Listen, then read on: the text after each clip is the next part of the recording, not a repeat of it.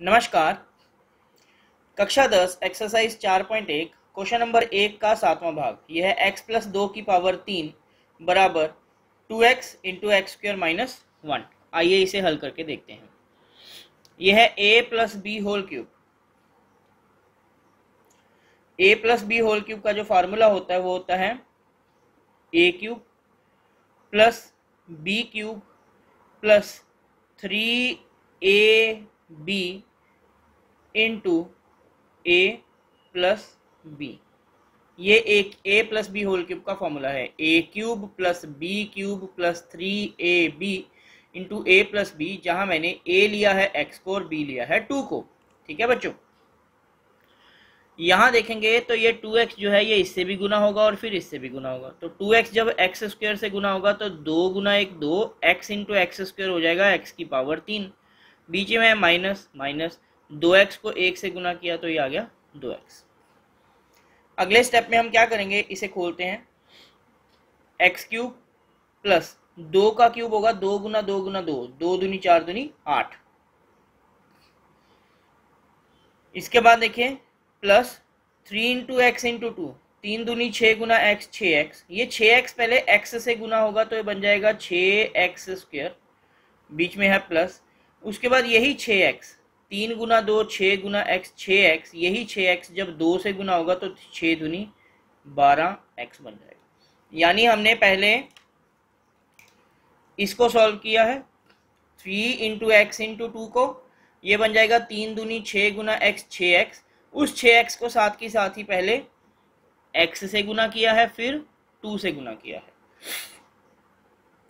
तो हमारे पास ये आ गया है x cube plus eight plus x six x square plus बारह एक्स बराबर टू एक्स की पावर तीन माइनस दो एक्स। इस स्टेप में हमने सिर्फ़ इसे हल किया है। अगले स्टेप में ये दो रकमें यहाँ राइट साइड पर हैं, बराबर के राइट साइड पर हैं। इन दोनों रकमों को हम बराबर के लेफ़्ट साइड पे ले आएँगे। देखिए एक्स क्यूब प्लस आठ प्लस छः एक्स स्क्वेयर प्लस बारह एक्स यह है टू एक्स क्यूब इसके साथ निशान कोई नहीं है, इसका मतलब प्लस का। जब यह बराबर के उधर जाएगा तो बन जाएगा माइनस का। ये है माइनस टू एक्स। जब ये बराबर के उधर जाएगा तो इसका साइन चेंज हो जाएगा, ये माइनस टू एक्स है, उधर जाके बन जाएगा प्लस टू एक्स, बराबर। राइट साइड पर से दोनों रकमें उधर चल गई तो बाकी बच गया ज़ीरो। आइए, अब हम इसे आगे हल करते हैं। सबसे पहले एक्स की सबसे बड़ी पावर है तीन। तो एक्स की सबसे बड़ी पावर वाली, तीन वाली दो रकमें हैं, एक ये और एक ये। तो plus minus minus x cube minus two x cube. इसके साथ कुछ नहीं है तो वन। वन माइनस टू हो जाएगा माइनस वन एक्स क्यूब। उसके बाद एक्स स्क्र वाली सिर्फ़ एक ही रकम है, ये। तो ये आ गया प्लस सिक्स एक्स स्क्र उसके बाद एक्स वाली भी दो रकमें हैं, प्लस बारह एक्स और प्लस दो एक्स। तो बारह और दो हो गए, चौदह। दोनों ही प्लस की रकमें हैं तो दोनों प्लस हो जाएँगी प्लस चौदह एक्स। बिना एक्स वाली एक रकम है आठ। और कोई बिना एक्स वाली रकम नहीं है। तो ये आ गया प्लस आठ बराबर ज़ीरो अब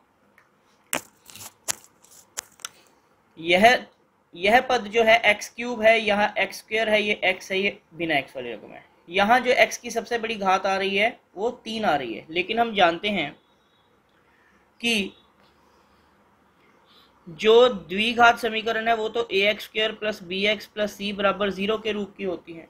यानी कि x की जो सबसे बड़ी पावर है, द्विघात समीकरण में x की सबसे बड़ी पावर द्वि, यानी दो होनी चाहिए, लेकिन यहाँ तो पावर है तीन। इसका मतलब यह द्विघात समीकरण हो नहीं सकती। क्यों? क्योंकि यह a x square plus b x plus e बराबर ज़ीरो के रूप का नहीं है। अतः यह द्विघात समीकरण नहीं है। ठीक है बच्चों, आशा करता हूँ ये भाग आपको अच्छे से समझ आया होगा। यदि किसी स्टेप से आपको ना समझ आए तो आप वीडियो को थोड़ा सा पीछे ले जाकर एक बार पुनः देखिए, दोबारा देखिए। और यदि आपको ये वीडियो ये भाग समझ आया तो कृपया हमारे वीडियो को लाइक ज़रूर कीजिएगा। धन्यवाद।